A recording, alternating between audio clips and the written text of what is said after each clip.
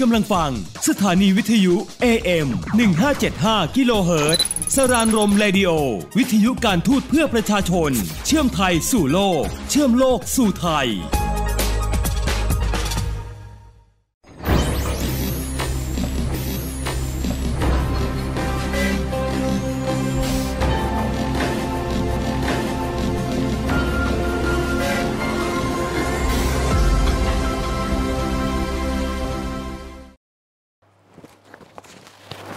สวัสดีค่ะท่านผู้ชมคะพบกับดิฉันยุวดีเมฆสิริวิทย์ค่ะ สวัสดีค่ะนุนีฮามค่ะค่ะ เราสองคนนะคะยินดีต้อนรับทุกท่านค่ะ เข้าสู่รายการไทยก้าวพัฒนาทั่วโลกค่ะ รายการที่จะพาทุกๆท่านค่ะ ไปทำความรู้จักและคุ้นเคยกับบทบาทการทำงานของกรมความร่วมมือระหว่างประเทศค่ะ หรือ Thailand International Cooperation Agency ที่เราเรียกกันสั้นๆว่าไทก้านะคะ รายการของเราค่ะ ออกอากาศทุกๆเช้าวันจันทร์ค่ะ6นาฬิกา30นาทีถึง7นาฬิกาทางสถานีวิสรานลม AM 1575กิโลเฮิรตซ์นะคะ หรือท่านสามารถรับชมย้อนหลังได้ทาง Facebook ของ TICA Cooperation ค่ะ แล้วก็ Facebook ของสราญรมเรดิโอค่ะค่ะ วันนี้คนที่ยืนอยู่ข้างๆนี่ก็คือผออรุณีนะคะ ตอนนี้อยู่เป็นผอกองส่งเสริม และประสานความร่วมมือระหว่างประเทศค่ะค่ะ ซึ่งเป็นกองที่แบบถือได้ว่ารับผิดชอบงานเยอะมากเลยเนาะค่ะ วันนี้ก็จะเป็นอีกหนึ่งบทบาทของกองส่งเสริมที่เราจะมาพูดคุยกันเกี่ยวกับเรื่องของโครงการอ่าที่เราแล้วก็ JICA ได้มีความร่วมมือกันค่ะทราบว่าพี่ปิ๋วเพิ่งได้มีการสัมภาษณ์อ่าผู้เชี่ยวชาญญี่ปุ่นค่ะใช่ไหมคะใช่ค่ะ คุณอะไรเอ่ย คุณคาซึฮิเดะนากายามะซังค่ะค่ะท่านเป็นเอ่อหัวหน้าผู้เชี่ยวชาญ เป็นทีมของผู้เชี่ยวชาญที่มาปฏิบัติงานภายใต้โครงการ Thailand Future City นะคะค่ะซึ่งมีหน่วยงานไทยก็คือเอ่อสภาพัฒน์นะคะสำนักงานสภาพัฒนาเศรษฐกิจและสังคมแห่งชาติ เป็นหน่วยงานเอ่อปฏิบัติของหน่วยงานไทยค่ะใช่ค่ะ งั้นก่อนอื่นให้ท่านผู้ชมฟังก่อนดีไหมคะว่าพี่ปิ๋วได้พูดคุยอะไรกับผู้เชี่ยวชาญญี่ปุ่นบ้างได้นค่ะแล้วก็ดีค่ะ กลับมาฟังเราสองคนพูดคุยกันอีกทีหนึงค่ะเนาะว่าโครงการนี้มีที่มาที่ไปอย่างไร แล้วก็วัตถุประสงค์โครงการคืออะไรยังไงค่ะบ้าง ค่ะ แล้วก็เกี่ยวพันยังไงกับแผนพัฒนาเศรษฐกิจและสังคมแห่งชาติฉบับที่ 13 ค่ะ ค่ะ งั้นขอเชิญติดตามรับชมเลยค่ะ ค่ะ Good morning. Uh, today uh, we have uh, our special guest uh, for our uh, program for Taika uh, around the world. So we have a privilege to with us that we have our expert, Dr. Katsushide Nakayama-san. He's an expert of JICA or Japan to come for the project of the Future City project. And today, Dr. Nakayama-san will come to uh, tell us about the project and uh, the, the success story of the project. So, uh, Dr. Nakayama-san, please. Hi. Thank you very much, Aruni, and uh, good morning, everybody. So I'm very happy to be here with you. Then I have a chance to make a brief uh, explanation of our project, and then, uh, of course, the, uh, our project legacy should be shared with the uh, Taika and other countries. That's um, very important the objective of our activities. By the way, so let me start with the uh, uh, objectives of the, our study uh, project. Yeah. We spent there almost six years from six uh, years. 2015. Uh, out of six years, almost two years, uh, you know, uh, not the, uh, active uh, because of uh, uh, COVID-19 COVID-19, yeah, okay. current period. But yeah, uh, we pick up, uh, by the way, uh, project objective is to facilitate the uh, sustainable future cities in Thailand. Because the Thailand is very, very strong in the economic development, but at the same time, uh, we have to look for the more balanced, uh, you know, development over the nation. And then local cities are very, very potential, but yeah, we have to push more their activities. The- the- Then we uh, launched the uh, sustainable future city concept. Then we pick up the, uh, uh, in total, eight uh, model cities. Yeah. And then uh, th- those uh, model cities are pick- selected based on the, some criteria mm -hmm. we mm-hmm. had together with the NESDC. This is actually JICA NESDC joint uh, project. Then uh, from the uh, uh north uh, Chennai and the uh, Pitsanulok. Yes, Chiang Rai, Pitsanulok. Konken, Pananikom. Pananikom, Chonburi, yes. Yeah, uh, Krabi the Danone, Danone Chumpon, Chumpon. That's, the second phase. Mm -hmm. Beautiful livable city, yes, Nam. Yes. Mm, yes. then all of them are very, very good activities and led by the uh, strong leadership. Oh. That's a very important uh, uh, element to make the success to this uh, kind of project. So I like to point out the uh, three key factors hmm. uh, of the success story. Uh, one is the, uh, of course, the people's participation and the cooperation. So we are taking a participatory planning approach. Yeah. This is a very important element, factor. Second one is the uh, networking of the existing resources and you know organization and the, also the academians. The third one is the, uh, of course, uh, uh, human resources led by the strong leadership and their motivation, how to organize, how to uh, mobilize the peoples into their you know, dream or visions. So these three elements, three factors are very, very important. And uh, this, if they have uh, this kind of three factors, maybe we can make uh, uh, this kind of approach successful. In addition, so we have to point out two more things. One is the, uh, say, kind of uh, mm, administrative system called Thailand three layers, Changwat, no, no, national government, central government, Changwat, and Tesaban. And So that the vertical collaboration work uh, is very, very important. The, at the same time, uh, budget system might be a little bit challenged. Dr. Uh, Nakayama-san give us an example of the successful uh, model province because uh, you already mentioned that we have uh, eight uh, provincials, uh, um, no, to, to um, join as a pilot model for, for this project. Right. What, what the, can you give us one of the very successful Tesabal? Currently, it's very difficult to pick up with only one. Eight of, you know, uh, participants, all very, very uh, good, uh, you know, performance. Uh, so maybe Chennai might be good example. Chiang Rai, oh, Uh, okay. it's a, so uh, mayor's uh, uh, initiative is splendid, and the people is uh, uh, trusting him. yeah. And then they are looking for the, not the infrastructure, uh-huh. uh -huh. but a more equitable society, uh-huh. uh, enjoy livable for the old age uh, generations, mm. so that they are uh, managing, running the uh, university. Oh, okay. University is not for the young, young, but also old ages. Mm -hmm. So, you know, I found that the um, uh, senior people mm-hmm. like me, are you know, learning the computer. Mm -hmm. So society is the supporting so, those kind of uh, uh, activities. Uh,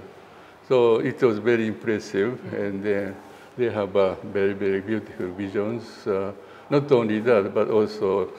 how to uh, compatible uh, livable life with na- nature, how to invite uh, tourists from the outside. Yeah, very, very uh, comprehensive uh, you know, vision they have. Oh, also, let me point out another krabi. Krabi. Krabi is very versatile in the, Andaman culture. Mm. Andaman culture uh, means uh, more universal harmony mm. of a different type of the culture and the religions, mm -hmm. the people, you know. Mm. So they are promoting Andaman culture uh, uh, over the people. They also, uh, based on the those concept, they are facilitating or they encouraging the tourism mm-hmm. coming. Mm -hmm. Also, they, they are looking for the art, artificial, but not real art. Art. art yeah. mm, artists are invited. Ah, okay. And then they are providing some venues mm -hmm. and some mm-hmm. chances mm-hmm. for the artists. The, the so those are it's very, very uh, attractive. Then they are thinking the- their own way by using the, their resources. Yeah. So it was also successful. So it, maybe it takes some more time to pick up the success story. Okay. Yeah, thank you very much. But I, I believe that uh, listening to, to uh, what uh, Dr. Nakayama-san has mentioned, I believe that these are the project that uh, the Thai government by the Thailand International Cooperation Agency or TICA together uh, with uh, Japan, the JICA International Cooperation Agency, the, the Japanese government uh, will help the you know, what is uh, one of the our uh, good project that uh, respond to our national uh, development plan that we would like to, you know, we we have uh, the the new coming the 13th of the national plan that we say that we would like to change Thailand, no? and this is a one of our priority that we would like to change uh, Thailand to be a livable, livable uh, city perhaps it's not uh, high technology yet, but uh, the people uh, as the center of the uh, development. Yes, Yeah. yes. So, but uh, uh, because uh, you know in Thailand we not have only uh, eight provinces or eight tesaban, we have more than 2,500 tesaban. Yes, so yes. I would like uh, Dr. Nakayama-san to uh, encourage the other community. What if they they uh, interested and they, how they gonna start and would like to to be like the eight uh, model Yeah. cities. Also, let me say one thing: that those uh, approach should be the more uh, what's say diffused in the other country like uh, uh, neighboring countries, countries, yeah. through your program and Yeah. also JICA joint program. Bec- uh, on on uh, countries uh, which are pursuing the democratization process. So this approach, you say the people-centered development Yes. is very, very necessary for those uh, you know, countries. That's why this approach should be uh, introduced for the other uh, you know, neighboring countries uh, through your effort in the JICA Yeah. support. Thank you That's uh, my, my, my hope. Yeah, you know. yeah, yeah. We can uh, ensure uh, you that uh, if we have seen the success story of this model, then for sure that a role, one role of TICA that's to, to expand or strengthen or enhance this cooperation to our neighboring countries. Okay. So uh, actually thank you very much for the Dr. Na- Nakayama-san because we heard that today actually you are leaving uh, Thailand because you have uh, today actually last last day for the Yes, yes, project, yes. right? So, but uh, anyway, we would like you to to have any words to to, to say to a Taika fan page because we will put it in our Facebook and also we will share to to you and uh, Jaika as well. Thank to- you very much. So we are always uh, disposable for you. you know, Anytime, please call us. ค่ะ พี่ปิ๋วคะเมื่อสักครู่นี้ก็เป็นการสัมภาษณ์ระหว่างพี่ปิ๋วกับผู้เชี่ยวชาญญี่ปุ่นค่ะค่ะก็ฟังแล้วน่าสนใจมากเลยนะคะสำหรับโครงการนี้ถือได้ค่ะว่าประสบความสำเร็จอย่างอย่างดียิ่งค่ะเลยนะคะค่ะค่ะ ทีนี้อยากจะขออนุญาตค่ะ ย้อนกลับไปถึงที่มาที่ไปของโครงการนี้ค่ะค่ะว่าทำไมไทก้าแล้วก็รัฐบาลญี่ปุ่นถึงสนับสนุนโครงการนี้ค่ะ ค่ะคือต้องจริงๆต้องบอกก่อนว่าอีกทีว่าวันเอ่อโครงการเนี่ยนะคะจริงๆ เริ่มตั้งแต่ปี 2558 นะคะอืมมีระยะเวลาโครงการทั้งหมด 6 ปี คืออย่างนี้ค่ะ ตั้งแต่เราขอเท้าความไปถึงเรื่องของตอน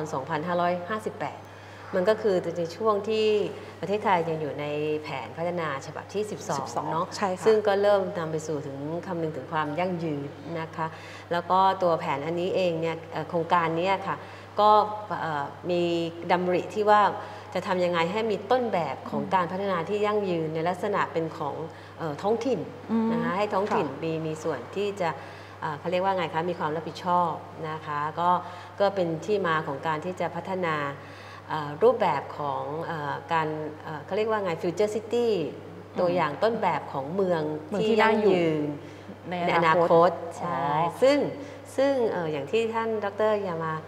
นากายามะสั่งได้แจ้งไว้ว่าบังเอิญทางญี่ปุ่นเนี่ยมีต้นแบบที่ประสบความสำเร็จอยู่แล้ว ก็อยากจะเอามาถ่ายทอดประสบการณ์ให้ประเทศไทย แล้วก็ประเทศไทยก็ได้สามารถเอามาใช้เป็นเป็นบทเรียน แล้วก็มาดัดแปลงแล้วก็มาปรับปรุงใช้กับประเทศของไทยโอ้โห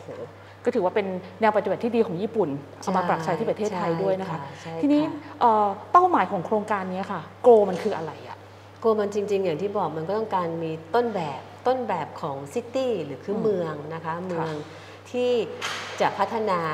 ตัวเองได้ให้เกิดความยั่งยืนนะคะ ภายใต้ภายใต้เอ่อประสบการณ์ของญี่ปุ่น แล้วก็ภายใต้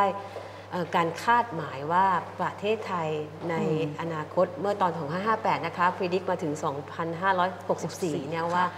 เรากำลังจะประสบประสบปัญหาในเรื่องของ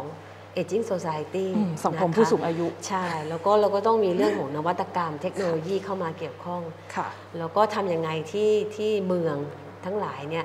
จะสามารถอยู่ได้นะคะอืมโดยที่เอาคนนะคะอย่างที่ท่านอาจารย์บอกเอาคนเนี่ยเป็นเป็นศูนย์ของการพัฒนาทำยังไงที่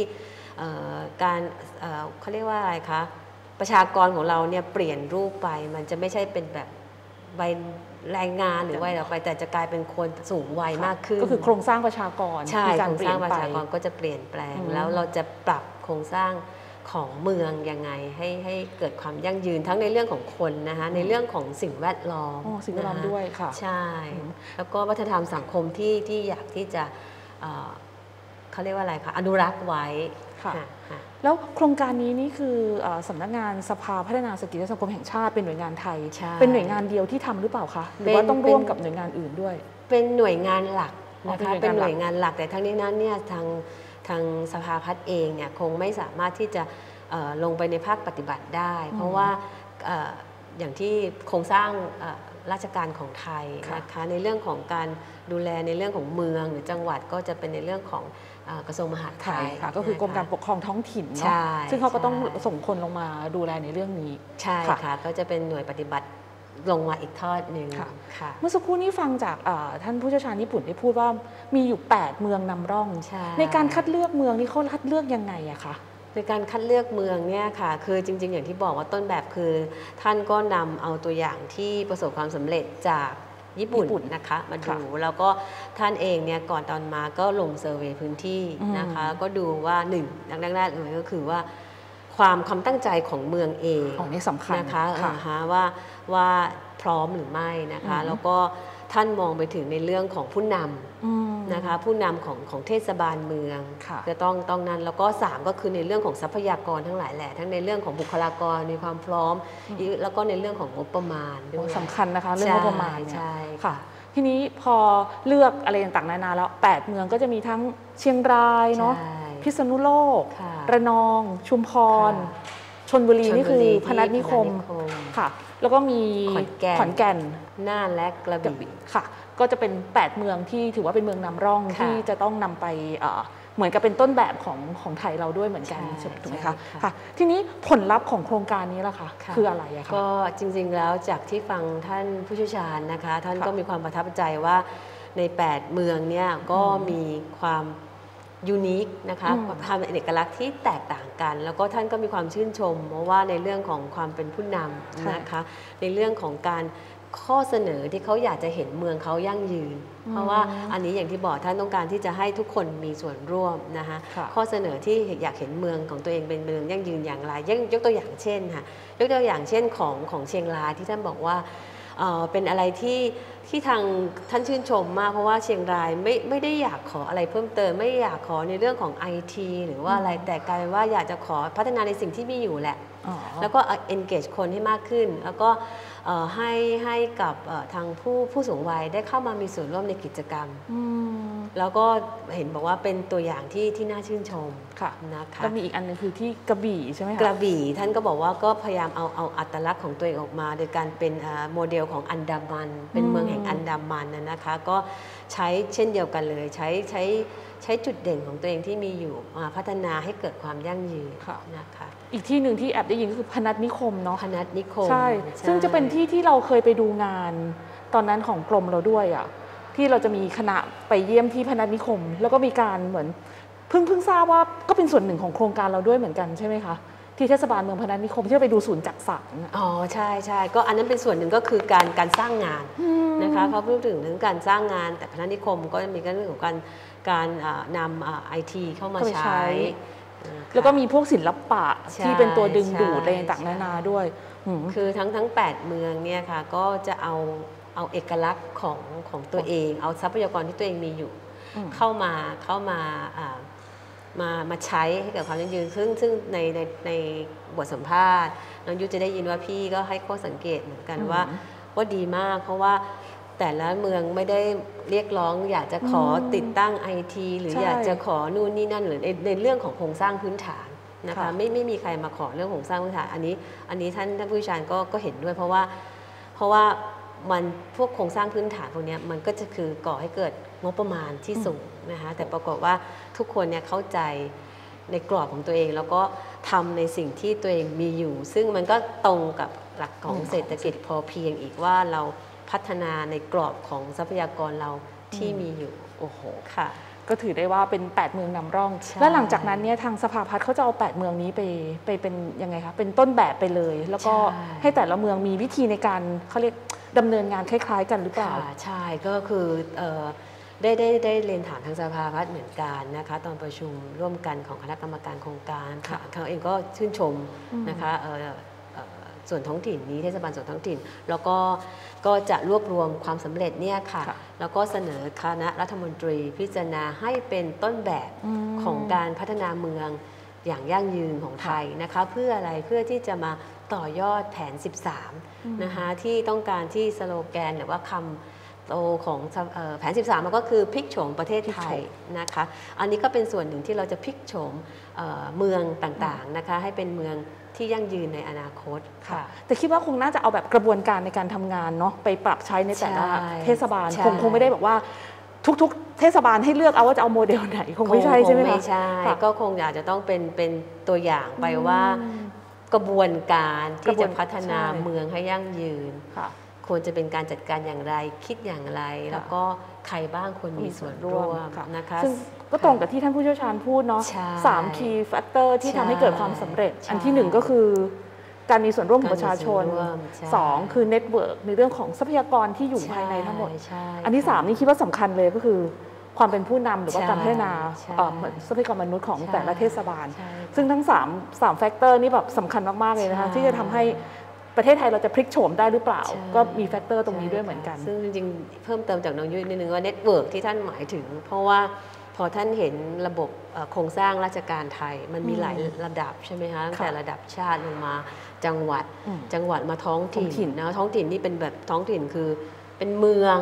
มาตำบลบนอะไรอย่างเงี้ยค่ะ แล้วท้องถิ่นเราก็มีอบตเทศบาลอะไรแบบเยอะไปหมด ฉะนั้น networkตั้งแต่บนลงล่างมาเนี่ยสำคัญอืมนะคะ เพราะว่า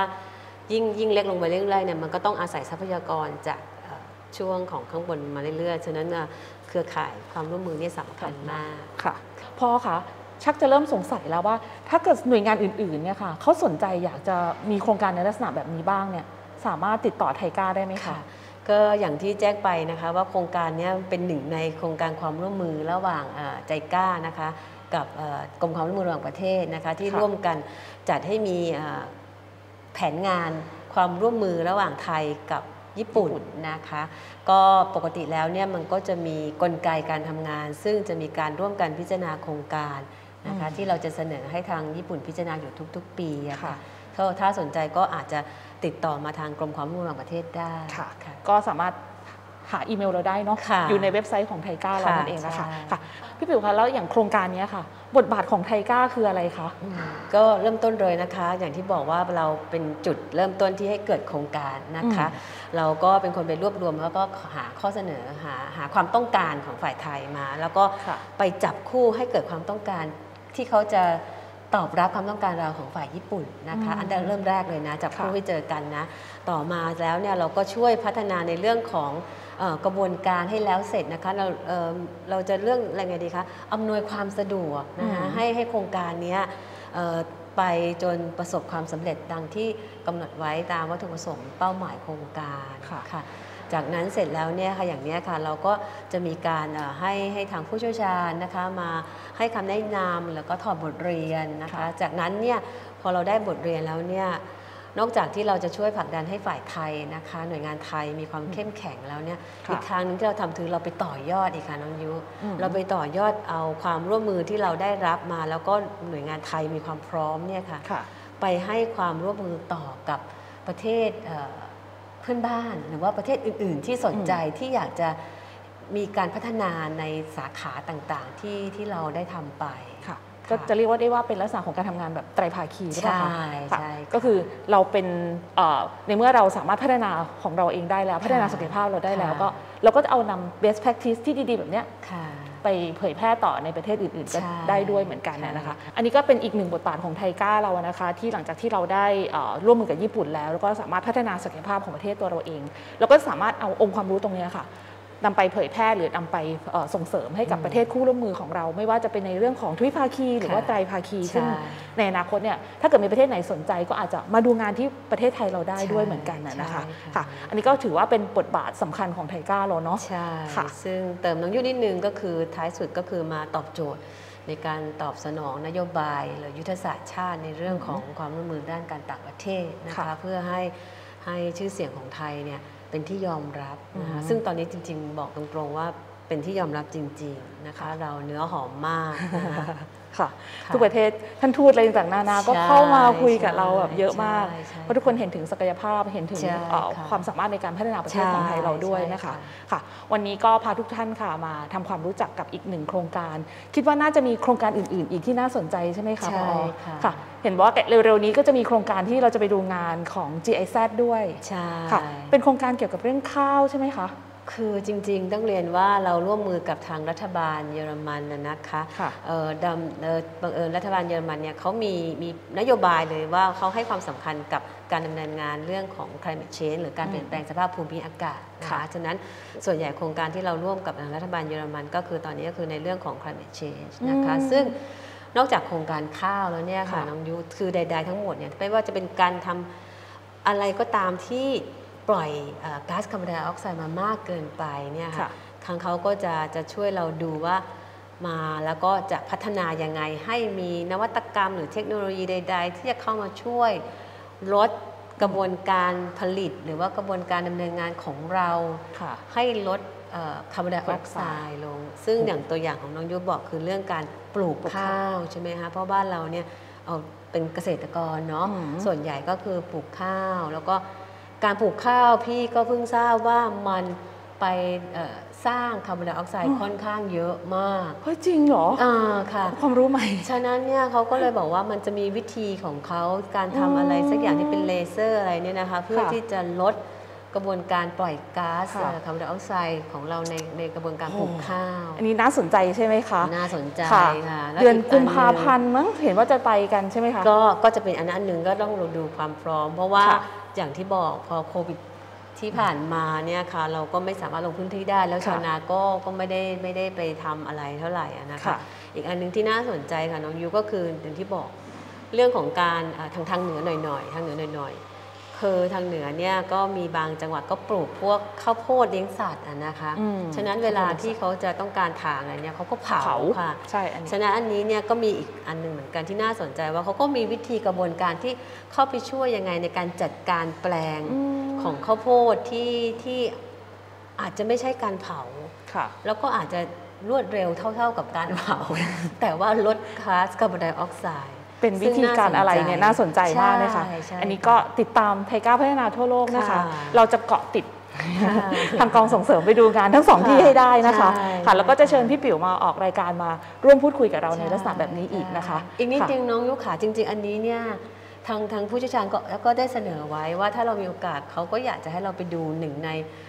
แปดโมเดลว่าว่าเขามีมีเอกลักษณ์หรือมีอัตลักษณ์ทางกายที่ที่ทางท่านผู้เชี่ยวชาญภูมิใจที่จะนำเสนอว่าค่ะมันจะเป็นโมเดลที่ดีได้อย่างไรอืมสนใจกระบี่ท่านผู้ชมสนใจไหมคะ หรือว่าใครไปใน 8 พื้นที่นี้แล้วแล้วก็ค่ะ เป็นยังไงบ้างใช่อาจจะส่ง feedback กลับมาให้ใช่ทางรายการ TICA พัฒนาค่ะทั่วโลกก็ได้นะคะค่ะหรือว่าอาจจะแจ้งทางเอ่อเพจของ TICA ก็ได้นะคะค่ะว่า ไปมาแล้วนะ แต่เทศบาลที่ใช่อยู่ภายใต้โครงการค่ะมี feedback ยังไงค่ะแจ้งเราได้ค่ะ เราจะค่ะได้เก็บรวบรวมไว้นะคะค่ะค่ะ วันนี้ต้องขอบคุณพี่ปิ๋วมาก ๆ เลยค่ะค่ะ ที่ให้เกียรติมาร่วมรายการนะคะขอบคุณค่ะค่ะแล้วก็ TICA พัฒนาทั่วโลกวันนี้ก็คงจะเวลาคงต้องหมดลงแล้วค่ะ ติดตามรับชมรายการของเราได้ทุกๆเช้าวันจันทร์ค่ะ6นาฬิกา30 นาทีถึง7นาฬิกาทางสถานีวิทยุสราญรมย์ AM 1575กิโลเฮิรตซ์นะคะ หรือท่านสามารถรับชมย้อนหลังได้ทาง Facebook ของ TICA Corporation ค่ะ แล้วก็ Facebook ของสราญรมเรดิโอค่ะค่ะสำหรับวันนี้นะคะ ดิฉันยุวดีเมฆสิริบิทย์ค่ะอรุณีฮัมค่ะ ค่ะ เราสองคนต้องขอลาท่านผู้ชมไปก่อนนะคะ แล้วก็พบกันใหม่ค่ะ สวัสดีค่ะ สวัสดีค่ะ